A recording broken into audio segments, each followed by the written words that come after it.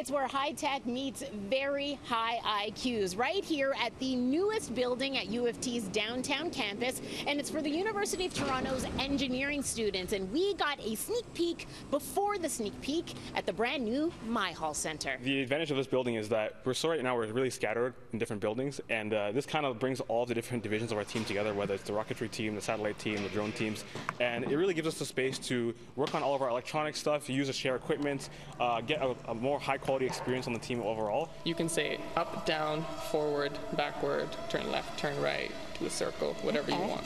For the work that you're doing here with drones, how does this space help out? Well, first of all, as you can see here, it's a two-story um, room.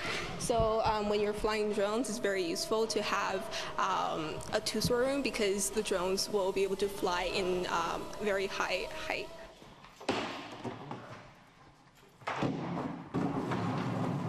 In the state of the art fabrication facility, the most efficient speed bike in the world is being fine tuned. Last year, the student built bike traveled an incredible 127 kilometers an hour, powered only by Calvin Moses' pedaling feet. You can see here, um, instead of uh, instead of looking through a window or looking directly at the road ahead, I look at the, this pair of screens, and then there's a, a camera that sits just behind my head, right up here, and shows me the road ahead. Now, the reason we do that is to make it more aerodynamic.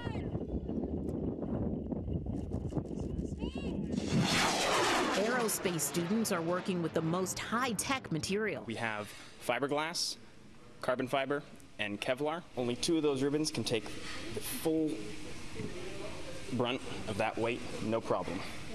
Each of these is thinner than a human hair. And while Calvin is hoping to pedal his way to a world record on the speed bike next month, the aerospace team is working on a rocket that will travel more than 50,000 feet into the air, breaking a Canadian record. So you're getting a lot of hands-on experiences to aid your actual education, and so it's going to be great for the future generations and for this facility overall because it's going to be the place where we build parts for this kind of record-breaking project. The building will officially be up and running in a couple of weeks when U of T welcomes its students back this fall, and they'll hold an open house here on September 13th.